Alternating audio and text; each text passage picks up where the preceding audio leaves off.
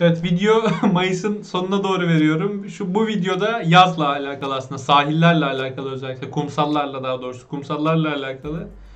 Ee, Bir kumsala gittiğinizde ne yanınızda olacak ve kumsalda neyle karşılaşacaksınız? İngilizce özellikle yurt dışına tatile gidiyorsanız daha da faydalı olacak bu video size öyle söyleyeyim.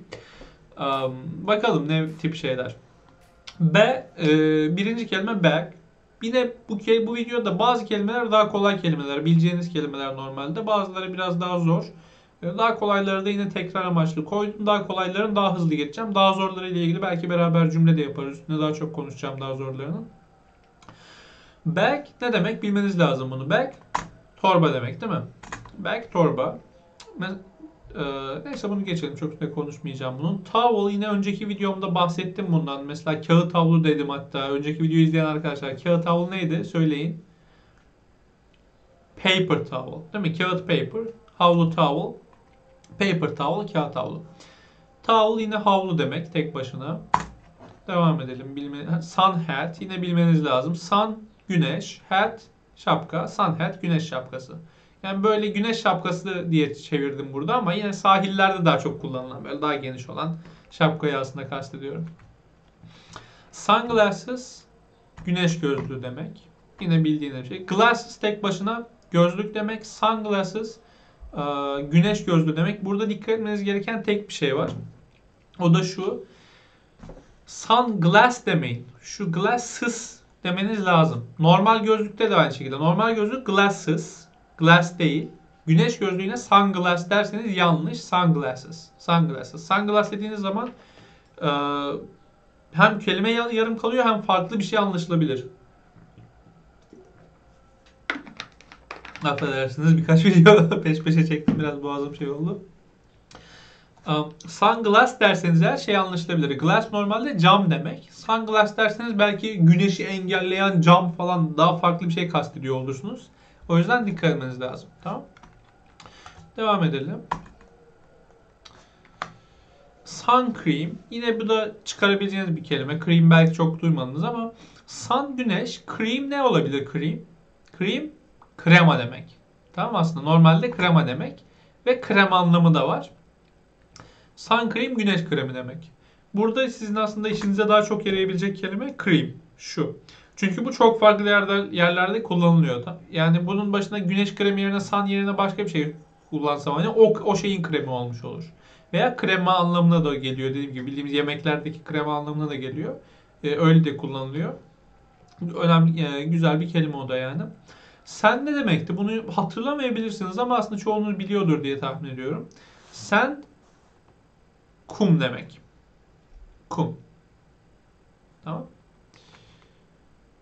Sahil pardon kumsal ne demek onu en son söyleyeceğim. Onu aslında onu bak onu biliyor musunuz bilmiyorum. Bakalım biliyor musunuz onu. Sand kum demek, shell ne demek? Hadi bakalım. Shell Şimdi burada deniz kabuğu demek. Normalde e, bazı hayvanların özellikle kabuğu, özellikle deniz hayvanlarının kabuğundan bahsederken de bu shell kullanılıyor. İşte mesela e, shellfish diye aslında hangisi oluyordu hatta o? Midye mi oluyordu? Galiba. Emin değilim bundan. Çok e, emin olmadığım şeyi de söylemeyeyim size. Ama deniz hayvanlarının kabuğundan bahsedilirken de yine shell kullanılıyor. Şu. Burada tabi burada shell deniz kabuğu anlamına geliyor. Devam edelim. Crab. Crab ne demek biliyor musunuz? Crab yengeç demek. Mesela yengecin kabuğundan bahsederken örneğin shell derim. Crab shell desem yengeç kabuğu demiş olurum mesela. Crab yengeç. Devam edelim. Surf. Surf bunu bilmeniz lazım. Surf surf surf bildiğimiz surf surf tamam. Surfing desem surf yapmak anlamına gelmiş olur. Ayrıca internette surf anlamında falan da kullanılıyor. I'm surfing the internet gibi bir şey de olabilir. Ee, devam edelim. Surfboard. Board ne demekti board? Board tahta demekti değil mi? Board tahta, surfboard e, surf tahtası. Son olarak wave. Hmm, bu güzel, bu da güzel bir kelime. Bununla ilgili hatta bir tane e, güzel bir cümle yapacağız. Güzel bir cümle aklıma geldi şimdi hemen. Wave dalga demek. Dalga. Ama bu tabii wave deniz dalgası daha çok şey değil. Ee, dalga geçmek anlamında falan wave'i kullanamazsınız. O kidding oluyor veya making fun of da oluyor. Onlar daha sonraki videoda gelirim yine. Ee, wave deniz dalgası. Bununla ilgili bununla ilgili e, bir cümle de kuralım beraber. Hmm. Deyin ki eğerli bir cümle yapalım hatta. Deyin ki eğer dalgalar çok büyük olursa eğer dalgalar çok büyük olursa tsunami'ye dönüşebilir. Eğer dalgalar çok büyük olursa tsunami'ye dönüşebilir. Dönüşmekin ne olduğunu ben size söyleyeyim madem. Ee, öğrenmek istemeyen arkadaşlar durdursun videoyu. Dönüşmek turn into. Transform da dönüşmek normalde ama burada turn into'yu kullansanız daha güzel. Tamam Turn into. Yapın cümleyi. Cevabı ben bu sefer e, vereceğim.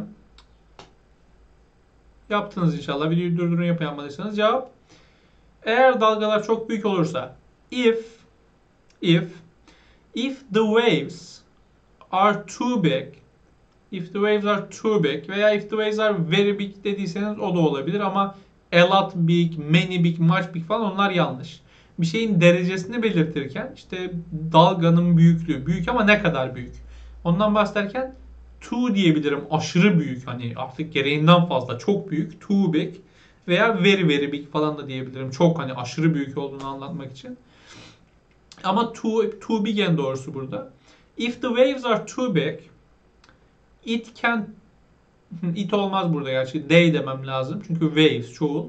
If the waves are too big, they can turn into they can turn into uh, a tsunami. They can turn, in, turn into a tsunami. Veya burada may veya might dediyseniz o da doğru. They might turn into a tsunami falan dediyseniz o da olabilir. Tamam. Son kelimemiz boat. Bundan önceki sanırım temel kelime setinde yine vardı. Boat ne demek? Boat tekne demek. Tamam. Tekne yine çok üstünde durmuyorum. Bu ki bu kelime seti biraz daha kolay bir kelime seti oldu sizin için. Burada dikkat etmeniz gereken şey şu. Bir, telaffuzlarını doğru bildiğinize emin olun. İki, buradaki çoğu kelime Türkçedeki hallerine benziyorlar. Bizim kullandığımız şekillere benziyorlar. O yüzden gördüğünüzde anlama ihtimaliniz yüksek. Ama bunları sizin kullanmanız gerektiğinizde kelime aklınıza gelmeyebilir. Önceki videoda bundan bahsettim. Bildiğinize emin olun ki siz kullanmak istediğiniz. Ben size mesela şu kelimenin bana İngilizcesini söylediğinde söyleyebilmeniz lazım. Tamam? O yüzden iyi öğrenin iyice. Ee, o şekilde. Hadi bakalım sonraki videoya devam ediyoruz. Quizinize az kaldı bu hafta. Yani.